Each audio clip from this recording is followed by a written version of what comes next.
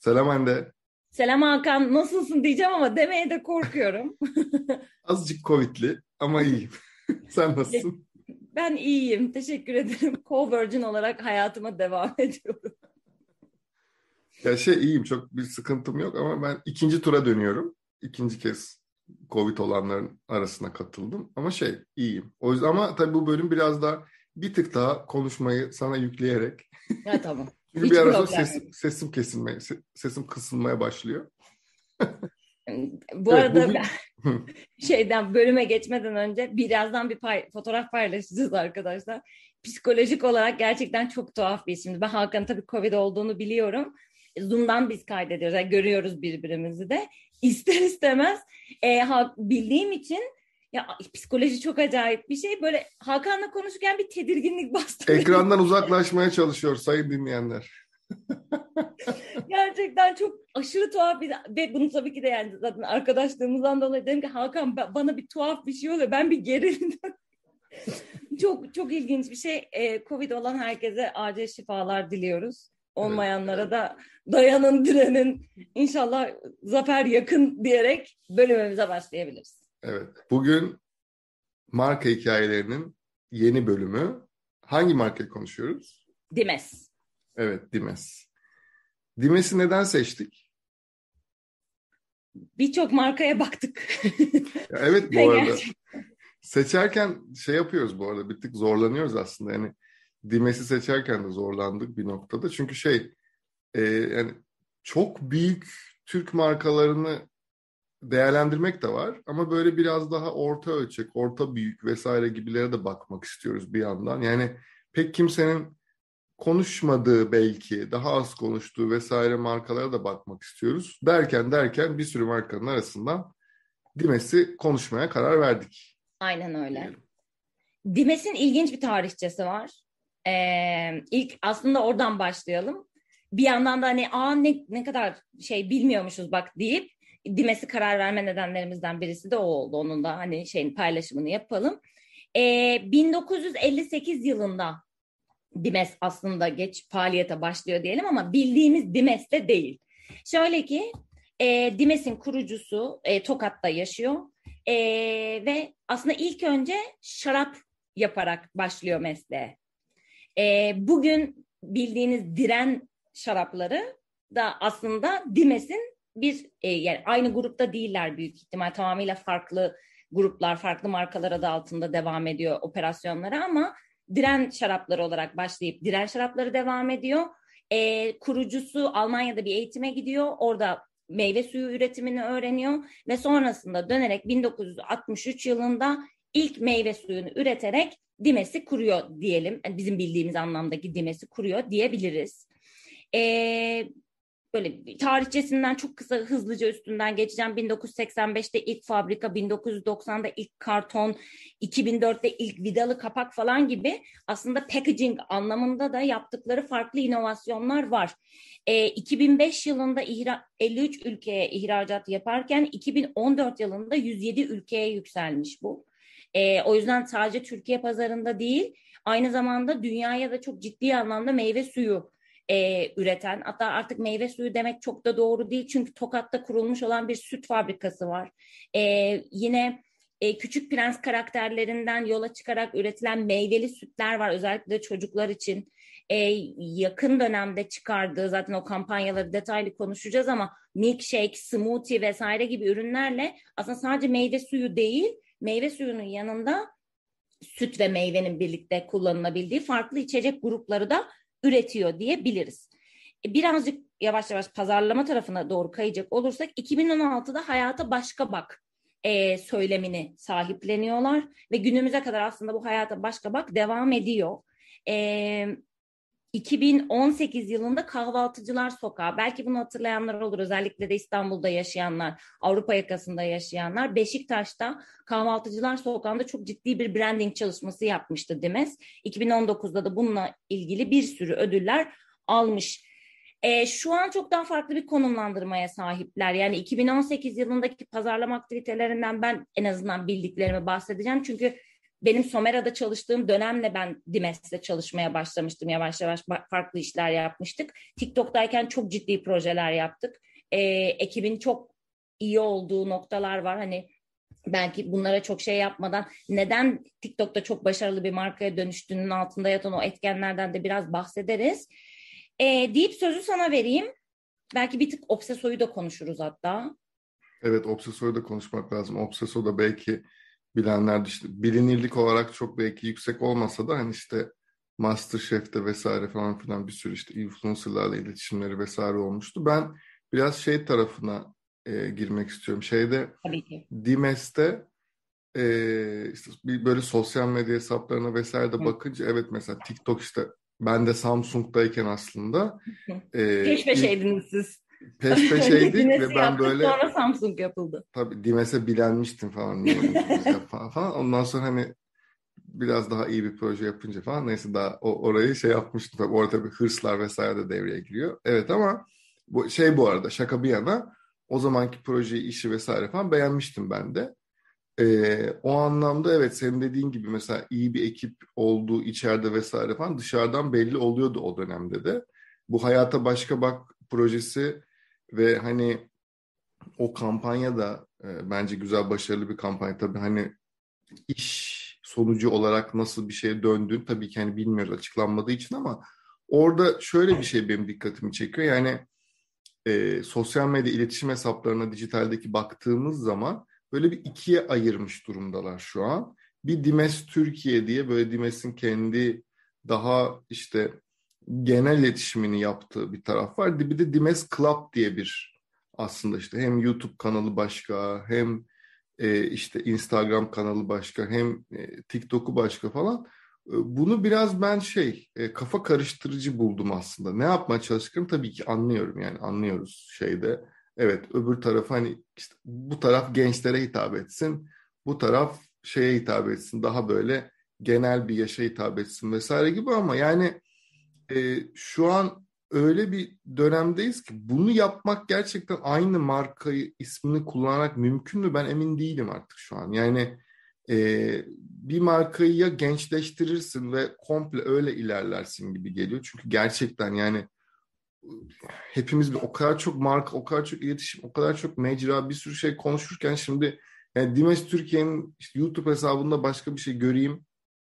Dimes Türkiye Club'ın, işte Dimes Club'ın YouTube hesabında başka bir şey göreyim vesaire. Yani böyle biraz kafa karıştırıcı olabilir. Yani ben orada mesela şey gibi bir şey sanki e, daha mantıklı bir gerçi e, galiba hesaplardan birinde yenileniyoruz falan hı hı. bir şey yazıyor şimdi biz bu şeyi. Dimes TR, Dimes Türkiye hesabında hashtag yenileniyoruz diye bir şey yazılmış Instagram Belki biosunda. de yeni bir kampanya geliyor vesaire tabii onu bilemiyoruz ama yani burada işte e, onlar da düşünüyorlar mutlaka yani hani iki tane farklı hesap var bunlar mantıklı mı değil mi vesaire falan filan çünkü böyle elinizde böyle asetler olduğu zaman bunları birleştirmek başka bir dert birini kapatmak öbürünü şey yapmak başka bir dert vesaire onu da tabii ki anlıyorum ama yani normalde aslında marka olarak komple ben gençleştim artık böyle ilerliyorum vesaire deyip öyle ilerlemek sanki daha mantıklı e, geliyor gibi bir yandan. E, bir yandan da e, influencerlarla çok fazla iletişim yapıyorlar. Yani hem Obsession tarafında bayağı ciddi bütçeler harcıyorlar. Ee, Bu arada YouTube da böyle. Yani tabii, evet. e, belki birazcık hani buna girmeden YouTube kanalından da bahsedelim. Ben YouTube kanalımı çok beğendim. Hı-hı. Şu yüzden çok beğendim. Üç yıl önce kurulmuş. E, şu an ne kadar takipçisi var? Sanırım fena da bir takipçisi bir marka hesabına göre. Club'tan mı bahsediyoruz? Club hesabı Efendim? Zaten tek hesap var. Dimes Club hesabı var YouTube'da. Hayır şeyde var. Ha, bir tane daha var Türkiye'de mı? Var. İşte onu ben diyorum. İşte bak mesela Aynen. atlamışım. Dimes ben... Türkiye var. 10 bin takipçili vesaire. Orada daha böyle genel reklamlar var. bir de Dimes Club diye YouTube hesabı. O daha işte e, evet. kampanya ben vesaire Ben hesabını çok beğendim. Çünkü Hı-hı. işte Oha diyorumla mesela çalışmışlar. Betül Çakmak'la çalışmışlar. Ondan sonra bir notlarımı yazmıştım. Çabi ile e, Berk Coşkun'la. Yani burada tamamıyla gerçekten content üretilmiş. E, şu an bana sorarsan en güçlü oldukları mecra TikTok. E, oraya çok ciddi bir yatırım yaptılar. Hem içerik yatırımı hem işte bu hashtag challenge'larla vesairelerle ciddi bir reklam yatırımı da yapıldı. Ve e, aslında şey e, sadece TikTok olarak bakmayıp bu challenge mantığını mesela çok güzel çıkardılar. Yani Aleyna Tilki'den de yaptıkları e, şey televizyon reklamı, o su, bu su her şey Kampanya tam entegre ettiler onu. Evet. Aynen kapışmak üzerine. Ve daha hani bu şey öncesinde bile işte bir ara şeyler çok modaydı YouTube trendlerinde hatırlayanlar olur kesin. İşte hamburger yeme challenge'ı. Ondan sonra işte bir, daha değer etmek aslında. Challenge demeyelim de cesaretin var mı minvalindeki içerikler. Böyle çok fazla şey var. Yani çok ciddi bir content üretilmiş ve izlenme rakamları da bence gayet iyi. E, Dimes'in Dimes bir content provide ediyor aslında. Yani oha diyorum da izleyemeyeceği bir content'i alıp Dimes kendi YouTube hesabına koyuyor ve diyor ki bak ben bunu sana getiriyorum. Bu çok dolaylı olarak yapılmış. Yani tabii ki de masada ürünler var, ürünlere dair bazen challenge'lar var, bazen üründen bağımsız işte hamburger gibi challenge'lar da var. Ben bu yaklaşımı çok beğendim. Ee, yani çok sık gördüğümüz bir şey olmadığı için çok beğendim Türkiye'de açıkçası. Çünkü insanlar YouTube'da özellikle vakit geçiren insanlar için çok mantıklı. Ee, başka bir oha diyorumu seviyorsun. Onun hiç olmayan bir kontentini gelip Dimes'te izleyebiliyorsun. Belki işte o yavaş yavaş oluşan o brand loyalty diyelim, brand love diyelim. Ya ne, ne güzel ben bir dahakine izleyeyim. Görüyorsun aşinalık. Bunun sonrasında tabii ki de bir purchase intent'e dönüşüyor. E, gençleri bu kadar hedefliyor olmasının sebeplerinden birinin de şu olduğunu düşünüyorum. E, Türkiye'de yani bunu zaten daha önce Coca-Cola vesaire gibi şeylerde de konuşmuştuk diye hatırlıyorum. Yani şekerli içecek e, ya da vesaire gibi tüketim şeyleri azalıyor gün geçtikçe. Yani Coca-Cola bile çok ciddi kan kaybediyor tüm dünyada. E, sağlıklı beslenmek, sağlıklı yaşamak e, vesaire trendlerinden dolayı. O yüzden de şu an birazcık daha gençlere böyle ürünler, bu, bu tür ürünlerin, bu ürün gamının diyeyim, e, promote ediliyor olması çok da bana yanlış gelmiyor. Yani evet e, orada işte dediğim gibi şey tarafını yapsalar sanki daha yani çok böyle takılıyormuşum gibi Yo dediğin şey çok ama. doğru. Yani bir işte 25 e, bu Hugo Boss mevzusu gibi aslında. Evet evet evet. Heh, tam aslında ona benziyor. Aynen öyle. Hugo Boss aynen. ikiye bölündü. İşte dedik ki Hugo 25 e, yaş altı kullanıcılar için, Boss 25-40 kullanıcılar için. Ama Aynen burada öyle. bir tünel var aslında. Şimdi Tabii. Hugo daha ucuz bu arada. Daha modaya yakın. Hı hı. Çünkü buradaki derdi şu. Oradan ben Hugo'ya aldığım kullanıcıyı, aldığım tüketiciyi pardon, kullanıcıyı ağzım nasıl alıştıysa.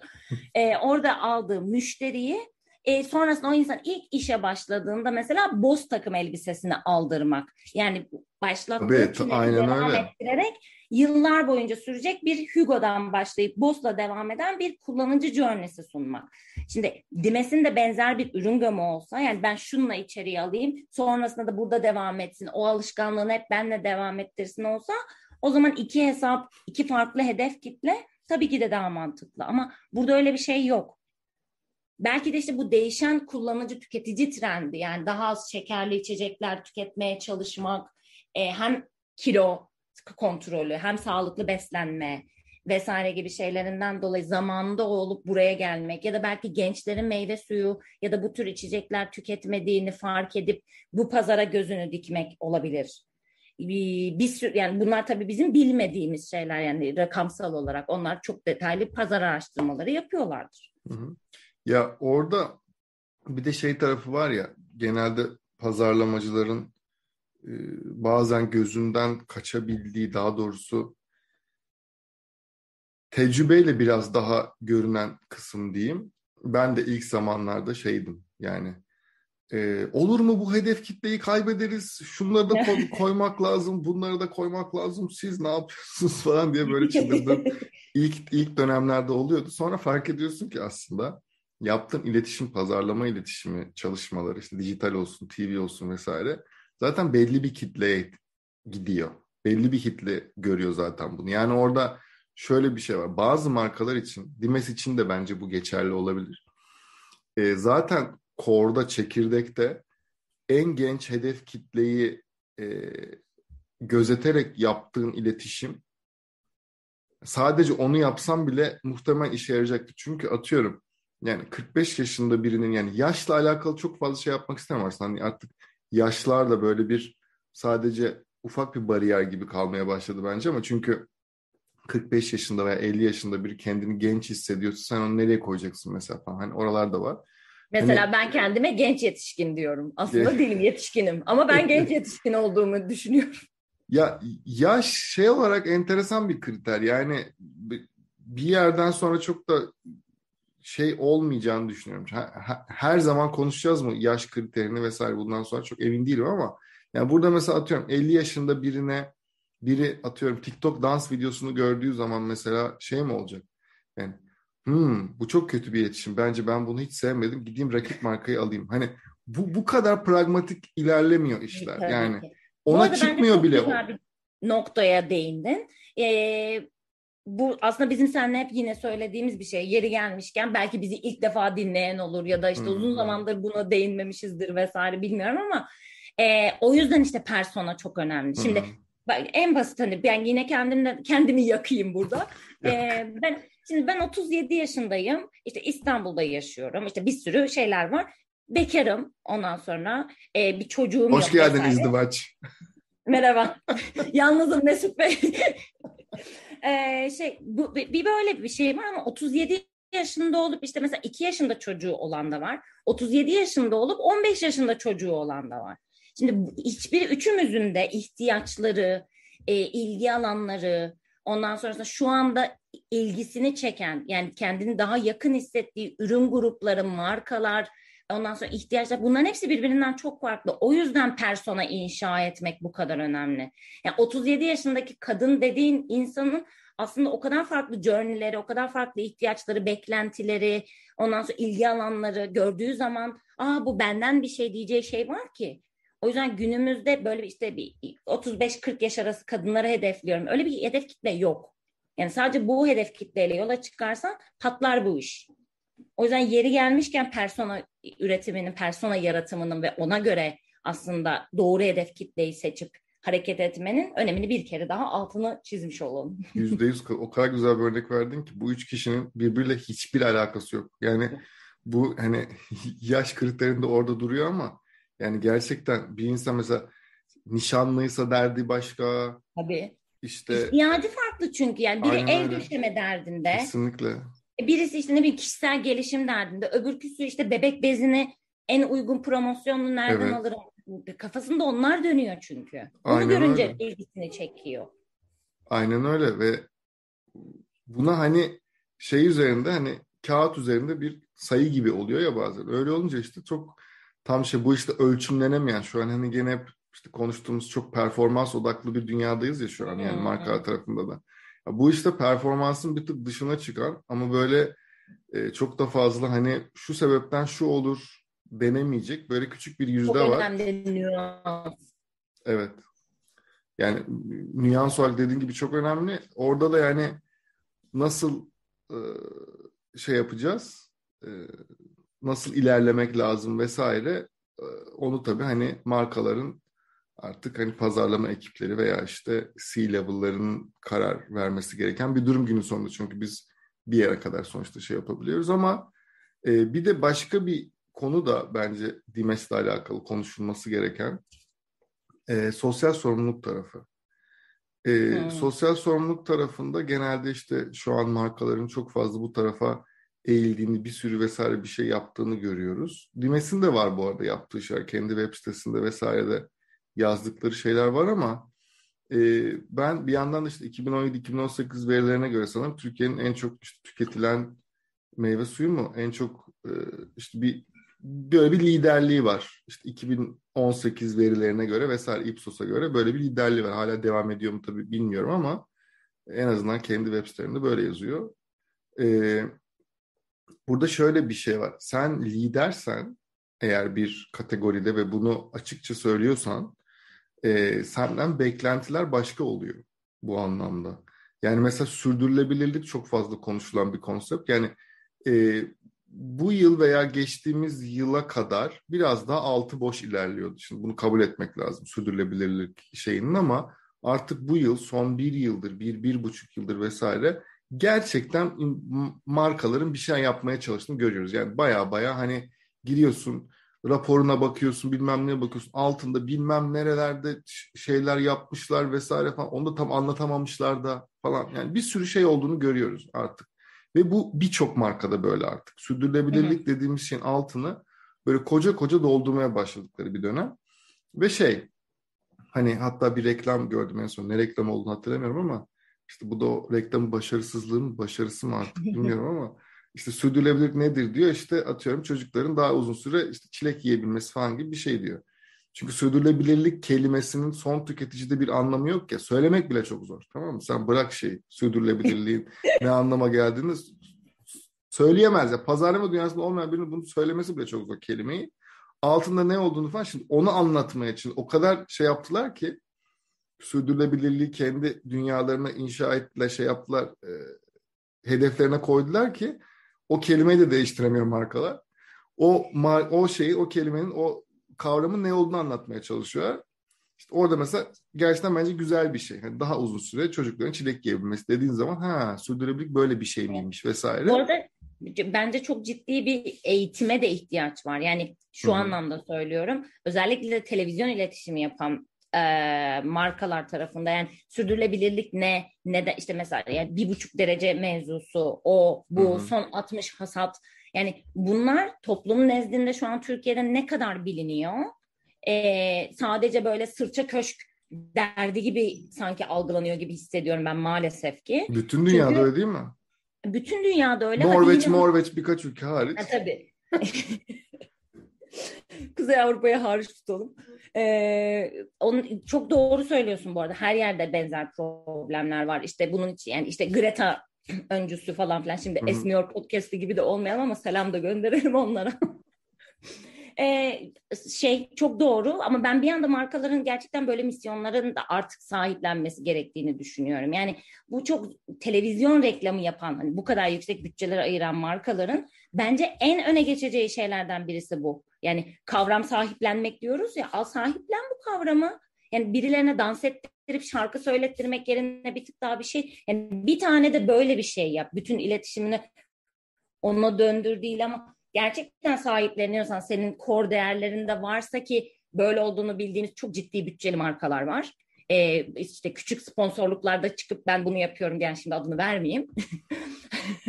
Ama var.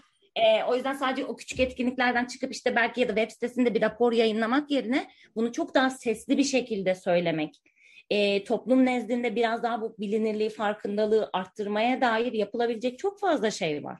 Senin dediğin şey o kadar güzel bir örnek ki sürdürülebilirliği duyuyoruz da ne olduğunu bilmiyoruz hmm. diyen eminim bir sürü insan var. Bilen kadar ya da işte o zaman zaten gördüğü zaman yani bir, o, bu kavramı öğrendi. Sonrasında bir gazetede bir yerde bir şeyde gördü işte şu marka işte sürdürülebilirlik falan ne, ne olduğunu aa ne güzel bir şey yapmış. Yani o zaman zaten onun değerini anlayabilecek. Bilmediği şey kimse için değerli değil ki. Tabii aynen öyle. Yani ki ben bu arada Dimes'in planları içinde falan buralara girmek olduğunu da düşünüyorum bu arada. Hani şey hani asla hani hiç akıllarına gelmedi falan veya yapmayacak ol öyle olduğunu düşünmüyorum ama sadece hani şey e, burada mesela onu görmüş olmak isterdim. Yani bir sürdürülebilirlik yani evet. içinde şunu mesela çünkü su tüketen bir şirket yani su mesela su en önemli kaynaklardan biri vesaire. O tarafla alakalı ya belki hani atıyorum bizim gözümüzden de kaçmış olabilir hani öyle bir şeyse vesaire falan ama daha işte web sitesindeki bilgiye dayanarak şey yapıyoruz. Dediğim gibi var bir şeyler ama yani e, daha böyle kapsamlı işte UNDP'nin işte belki bilmeyenler için hani e, United Nations'ın böyle bir e, sustainability şeyinin altında böyle bir bilmem he, bilmem kaç tane hedefi var.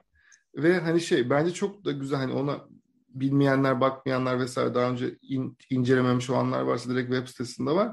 E, kaç adet olduğunu hatırlamamakla şu an beraber. Gerçekten yani işte insan haklarından kaç? 17 diye hatırlıyorum. Olabilir daha bile fazla belki olabilir. Ben tam hatırlamam ama işte atıyorum insan haklarından, kadın haklarından işte e, doğayla alakalı şeyler işte global warming işte küresel ısınmaya vesaire o, kadar o kadar farklı konularda şey var ki. yapılabilecek işte hani dolayısıyla hani onlardan markaların şu an şey yaptığını görüyoruz. Hepsini seçmek çok zor ama atıyorum birkaç tanesini seçip biz bu doğrultuda ilerliyoruz diye aslında bir deklarasyon yapıyorlar. Bir aslında kamuoyuna diyorlar ki biz artık bunun peşinden gideceğiz, bunların peşinden gideceğiz ve bu, biz bu konularda bir şeyi değiştirmek istiyoruz. Şimdi bu çok önemli, bu çok bir de şey gibi düşündüğümüz zaman hani bazı markaların tüketicilerini düşündüğün zaman belki buna ihtiyacı şu an için olmayabilir. Böyle markalar da var. Yani onu umursamayan tüketiciye sahip markalar da olabilir. Ee, ama e, Dimes öyle bir marka değil ki. Dimes'in hedef kitlesi de şu an işte atıyorum alfa jenerasyonu şimdi artık e, hedef kitlesinde yeni Z jenerasyonu zaten öyleydi. Daha üstü zaten var ama e, bu bu insanlar yani bu bu kitle zaten bu yani zaten bununla ilgileniyor. Zaten konuşuyor. Zaten kendi aralarında bununla alakalı bir dertleri var. E sen marka olarak Dimes olsun, başka bir marka olsun. Bu bu hedef kitle senin için önemliyse e sen bu tarafı bir şekilde sosyal sorumluluk işte o hani hep konuştuğumuz şey vardı ya e, talk to talk değil de işte walk to walk. E, ondan sonra o tarafı hani gerçekten bak ben bunu yapıyorum. Onu gösterebildiğin zaman gerçekten senin dediğin mesela dans etmek, eğlenmek de çok önemli. Evet yani. Tabii ki. ben de sadece zaman... kimse karalar bağlasın, işte karanlıktan kuruyan topraklar. Hepimiz Greta'yız. Bu. Greta'nın da bu arada çok hani sulandırmak gibi olacak ama Greta'nın bir tane şey videosu çok konuşulmuştu.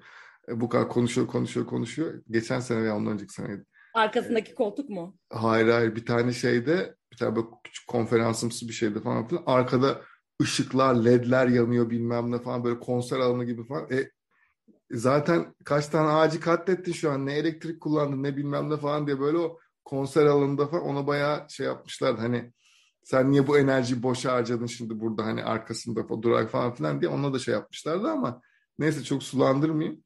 Ya orada gençlerin gerçekten birkaç tane derdi var. Zaten gençler deyince ben hani hep söylüyorum boomerlığımı kabul etmiş biri olarak gençler deme hakkı artık bende var. Sen kabul etmiyorsun. Okey ona bir şey diyemiyorum. Asla. Ee, yani şey daha genç arkadaşların e, tabii ki birinci amacı şu an tabii ki eğlenmek genel olarak ama eğlenirken ben bize göre daha akılları başında olduğunu düşünüyorum genelinin. Yani çünkü görüyorlar yani küresel ısınma vesaire ne olduğu daha çok başka bir yere gidiyor. Dolayısıyla bir markanın onlara sadece eğlence vermesi veya bu tarafta şey yapması yeterli değil. Burada bayağı göstere göstere yani o tarafta da bir şey yaptığını göstermen gerekiyor marka olarak. Ben hani Dimes'in muhtemelen e, bu yıl planlarında vesaire daha fazla vardır diye düşünüyorum tahmin ediyorum. Yani artık hani olmama ihtimali yok. Dolayısıyla hani orada ekstra şey göreceğiz ama biz en azından bu bölümü kaydederken benim beklentim daha fazla e, sürdürülebilirlik tarafında bir şeyler yapıyor olmalarıydı. Bir de böyle bir şey var. Benim eklemek istediğim bir şey var. Bu arada daha konuşsak konuşuruz ama bölüm Hı. Dimes diye girdik. Markalar neden sürdürülebilirliği sahiplenmiyor diye çıktığımız yine ya da hedef kitle tanımını yaptığımız bir evet. bölüm oldu. Ne yapalım bizimki de böyle oluyor. ee, şey e, pazarlama ekibiyle ben tabii ki daha önce çalıştım işte söylediğim gibi. E, bizi dinleyen diğer pazarlama e, alanında çalışan insanlara hani böyle küçük bir tüyo verebilirim. O da şu, e, TikTok'ta ben çok fazla markayla görüştüm, tanıştım, anlattım, işte proje yaptım vesaire. Hakan da bunlardan biriydi. Dimes ekibi de bunlardan birisiydi. E, benle ilk toplantılarına gelmeden önce dahi platformu çok iyi çalışmışlar ve çok iyi öğrenmişlerdi. O kadar önemli ki bu. O kadar önemli ki çünkü yani ben ben tabii ki yine anlattım işte bütün modelleri ondan sonrasında onların yapmak istediği şeyi anlamaya çalışıp onlara bir bir plan çıkarmaya çalıştım. Yani ilk böyle yapabilir sonra şunu yapabilir sonra diye.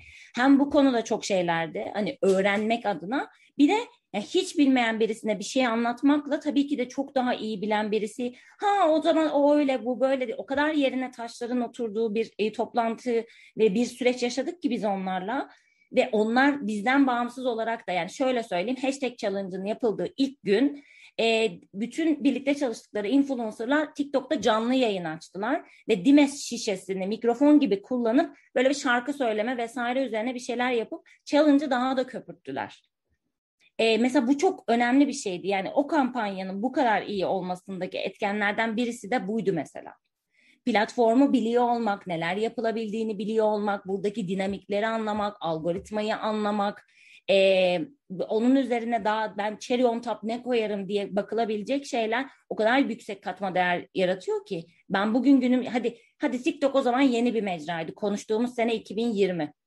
Bugün dahi Instagram'ın yani neler değiştiğini, değişimle kastettiğim şey bu arada şey gibi değil yani 2022'nin bilmem nesine ne geliyordu ki bence bunu da bilmek zorunda ama işte yani orada 10 bin takipçi varsa e bizim zaten postumuzu 10 bin kişi görüyor zihniyetinde hmm. olan da çok fazla pazarlama e, müdürü e, vesairesinin olduğunu görüyorum. Bu çok acı. Yıl kaç bu, olmuş ya? Bu gerçekten çok acı ve bence artık ayıp. yani, şu, şu TikTok ne bize bir anlatın ya. Ya hadi hala ya, vardır ya hala vardır ben var, Tabii canım neler var hala yani var. de e, hadi yani işte o tamamen hep konuşuyoruz zaten yani TikTok'un Türkiye'deki konumlandırması bu dijital trendleri mesela işte biliyorsun bu ara ben sürekli trend konuşuyorum. Hı hı. E, trendleri anlatmaya çalışıyorum. Hem kültürel ve yani 2022'de bizi tüketici olarak bekleyecek olan trendleri hem de dijital e, dijital 2022 raporu yayınlandı. Yıl, her pazarlamacının büyük bir merakla beklediği e, VR Social ve Hootsuite'un birlikte yaptığı. Şimdi rakamları oradaki Türkiye algısıyla TikTok'a baktık zaman diyorsun ki ne oluyor? O kadar ne, ne oluyor var ki yani işte YouTube'a kafa tutan bir platform var şu an averajda o geçirilen süre bazında. E çünkü TikTok bir sosyal medya platformu değil. TikTok bir sosyal eğlence platformu. Çok normal o yüzden o kadar süre geçiriliyor olması. Hı.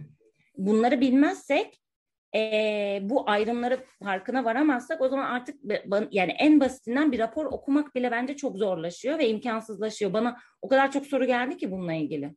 TikTok terapi niye trend mesela? E sen sadece Türkiye'deki gibi düşünürsen o zaman tabii ki de bu trendi anlamak mümkün olmuyor. Neyse. Bu da başka bir günümüzün konusu olur belki. Bölüm bitti. Ee, bölüm bitti aynen. Çok konuştuk. Çok şey anlattık. Bölüm bitti. Umarız beğenmişsiniz. Evet. Ya bu arada şey son kapatırken şey Dimes benim beklentimin yüksek olduğu bir marka. Dimes yani güzel bir marka bu arada. Bence de güzel bir ee, marka daha güzel şeylerin altına imza atmasını umduğum, umduğumuz bir marka. Onun için hani şey umarım yakın zamanda bunları da görürüz. Burada konuştuklarımızı vesaire de görme şansımız olur deyip e, en son e, her hafta salı günü yayınladığımız bir e, bültenimiz var. O bültende de bazen burada konuştuklarımızı, bazen konuşamadıklarımızı, e, bizim gözümüzden biraz farklı içerikleri de paylaşmaya çalışıyoruz elimizden geldi. Böyle birkaç dakika içerisinde görebileceğiniz, okuyabileceğiniz daha ters köşe, enteresan içerikleri mümkün olduğu eklemeye çalışıyoruz. Oraya da abone olursanız seviniriz deyip sözü sana bırakarak hoşçakalın diyorum. E, Valla her şeyi söyledin zaten. Bize bir yazmak istedikleriniz varsa bu arada hani e, sormak istedikleriniz olabilir, önerileriniz olabilir. Şu konuyu konuşun dediğiniz konular olabilir. Bütün sosyal medya hesaplarımızdan bize ulaşabilirsiniz. E, kendinize iyi bakın. Görüşmek üzere.